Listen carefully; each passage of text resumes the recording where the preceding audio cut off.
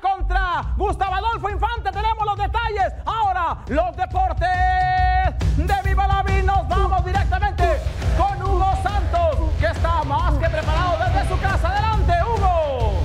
Señoras, señores, en tu lugar o tabla porque estamos listos con la información de los deportes y esto va con este clima a gusto, nubladito y lloviendo para todos los caballeros. ¿eh? ¡Eh! Agarre su colchita. Mire nada más, le voy a presentar a Carmen, a Carmen Jordá, que es conocida como la reina de la Fórmula 1, Fórmula 1 sin haber corrido la Fórmula 1. ¿Qué pasa? Lo que pasa es que llegó a ser piloto de desarrollo para Renault y sí fue campeona de, de la Fórmula 3 y de otras fórmulas internacionales. Sin embargo, ella ha sido una piloto muy sobresaliente, originante de España, de Alicante. Y mire nada más cómo no va a sobresalir, aparte de su profesionalismo en la pista.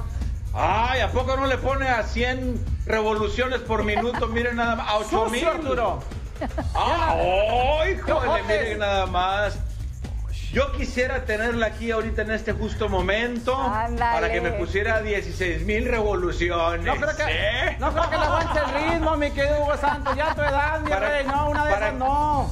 No, no, no, no, no. Esa déjala para Para que sea nomás. piloto de mi vida y de mi corazón. Au. Pero traen el mismo tinte, Ángel. ¿Eh?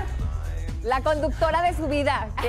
Y de bajada, de subida, de bajada, como sea, Claro, claro. ¿Qué les parece, eh? Bellísima Hermosa. la muchacha. ¿Cómo ves, Ángel? Espectacular, compadre, ahí te encargo. No nada más la rubia, ya lleva dos rubias seguidas. También echa morenazas, esas pelirrojas, castañas. De todo le entramos, em- hermano. Parejo, parejo.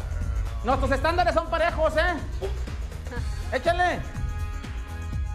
Por supuesto que sí, para, para todo el público varón que nos acompaña en Viva la Vida. Estos fueron ¡Los deportes!